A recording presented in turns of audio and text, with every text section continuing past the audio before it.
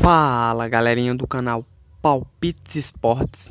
Galera, para esta quarta-feira, dia 6 do mês de novembro de 2019, selecionei 10 jogos para estar tá passando para vocês.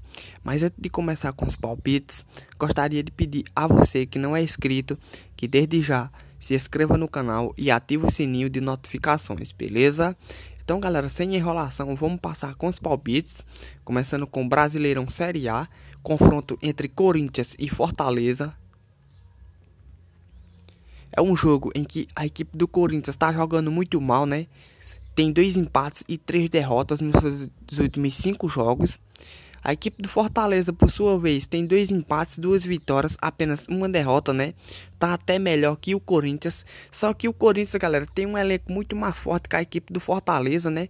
E o Corinthians vai jogar com o apoio da sua torcida, onde costuma fazer bons jogos, né? E mesmo não estando jogando bem, o Corinthians é o favorito. E eu creio eu que não deva perder. Vamos de melhor opção para esse jogo. Corinthians vencendo casa, opção mais arriscada, jogo abaixo de 2,5, beleza? Pulamos agora para Atlético Mineiro e Goiás. Jogo em que o Atlético Mineiro, que nos seus últimos cinco jogos tem dois empates, uma vitória e duas derrotas. O Goiás, por sua vez, que nos seus últimos cinco jogos tem dois empates, uma vitória e duas derrotas, né? E o Atlético Mineiro não tá jogando bem, é verdade, mas continua sendo o favorito porque vai jogar com o apoio da sua torcida, né? A fase não tá boa, mas creio eu que não deva perder para essa equipe do Goiás. Vamos de melhor opção Atlético Mineiro vencendo casa, opção mais arriscada, jogo acima de um gol e meio, tá certo? Pulamos agora para Havaí e Santos. Jogo em que a equipe do Havaí tá muito mal, né? Cinco derrotas consecutivas nos seus últimos cinco jogos. A equipe do Santos, por sua vez, que nos seus últimos cinco jogos tem três vitórias, um empate, apenas uma derrota, né? E jogando fora de casa, o Santos é favorito demais, né? Vai pegar aí essa equipe do Havaí, que está praticamente rebaixada, né? É o último colocado. Creio eu que devo vencer até com certa tranquilidade pelo elenco que o Santos tem e o futebol que vem apresentando. E por isso vamos de melhor opção Santos vencendo fora. Opção mais arriscada, jogo acima de 2,5, tá certo? Pulamos agora para Atlético Paranaense e Cruzeiro.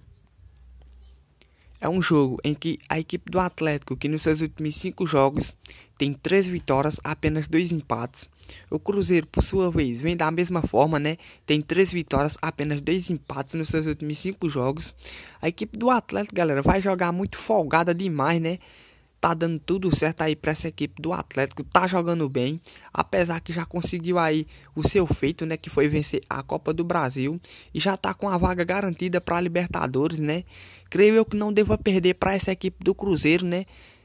Cruzeiro perdendo aí vai se afundar aí na zona da degola, né? Como vocês estão vendo, tá aí com 33 pontos na 16ª posição. E vamos de melhor opção para esse jogo, Atlético Paranaense vencendo casa. Opção mais arriscada, jogo acima de um gol e meio, tá certo? Pulamos agora para Bahia e Chapecoense. É um jogo em que a equipe do Bahia, que nos seus últimos cinco jogos tem um empate, uma vitória e três derrotas, né? A equipe da Chapecoense, por sua vez, tem dois empates, uma vitória e duas derrotas, né? A equipe da Chapecoense é uma equipe aí muito chatinha, né? Como vocês sabem, é uma equipe aí que não tá vencendo, mas costuma atrapalhar. E creio eu que o Bahia não deva vencer com certa tranquilidade nesse né, jogo. Para esse jogo vamos de melhor opção, jogo abaixo de 2,5.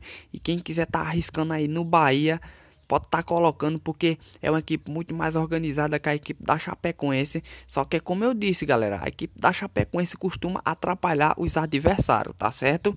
Então palpite para esse jogo é jogo abaixo de 2,5, porque com certeza vai ser um jogo pegado de forte marcação por parte da Chapecoense. E a opção mais arriscada é Bahia vencendo casa pelo futebol e pelo estádio, né, que vai jogar aí na Fonte Nova, onde é o seu a sua principal força. E é isso, galera. Pulamos agora para Vasco e Palmeiras. É um jogo em que a equipe do Vasco, que nos seus últimos cinco jogos tem dois empates, uma derrota e duas vitórias, né? O Palmeiras, por sua vez, tem nem muito o que falar, né? Tá bem demais. Quatro vitórias, apenas um empate nos seus últimos cinco jogos. E o Palmeiras jogando fora de casa é favorito demais, né? Pelo elenco que tem e pelo futebol que tá apresentando. Creio eu que devo vencer. Para esse jogo de melhor opção, Palmeiras vencendo fora. Opção mais arriscada, jogar acima de um gol e meio, tá certo? Pulamos agora para Europa, Liga dos Campeões, fase de grupos. Jogo entre Lokomotiv de Moscou e Juventus. É um jogo em que a equipe do Lokomotiv Moscou, que nos seus últimos cinco jogos tem duas vitórias, um empate e duas derrotas. A equipe da Juventus, por sua vez, vem bem demais, né? Tem apenas um empate e quatro vitórias nos seus últimos cinco jogos e mesmo jogando fora de casa é favorito demais a Juventus, né? Pelo elenco que tem e pelo futebol que está apresentando, futebol de alto nível, né? Pega essa equipe do Lokomotiv Moscou, que é uma equipe muito fraca, né? Com todo respeito aí, nem se compara o elenco da Juventus e por isso vamos de melhor opção, Juventus vencendo fora. Opção mais arriscada, jogo acima de 2,5, tá certo? Pulamos agora para Atalanta e Manchester City.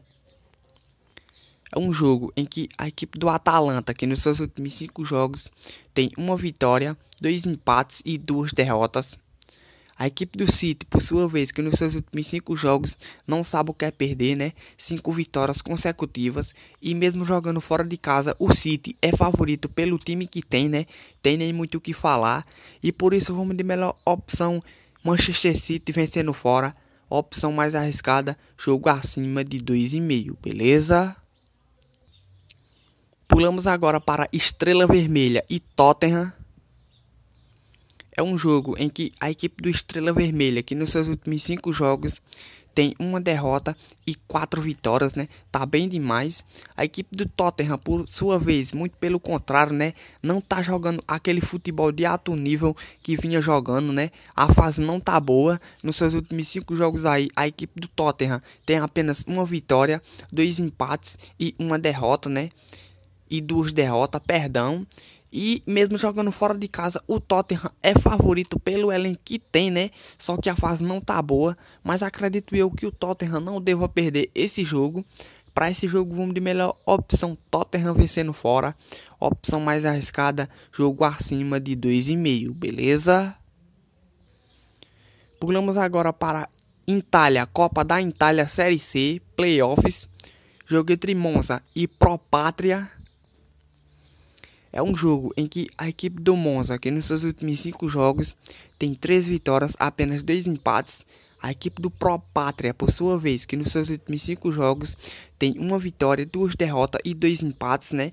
O Monza é favorito demais, né? Uma equipe muito forte, como vocês estão vendo. E jogando em seus domínios faz boas partidas, né? Tem apenas uma derrota, um empate e três vitórias nos seus últimos cinco jogos em casa. A equipe do Monza, né? E creio eu que devo vencer até com certa tranquilidade. Vamos de melhor opção para esse jogo. Monza vencendo casa. Opção mais arriscada jogo acima de um gol e meio, tá certo? Então é isso, galera. O vídeo de hoje foi esse. Espero que vocês tenham gostado.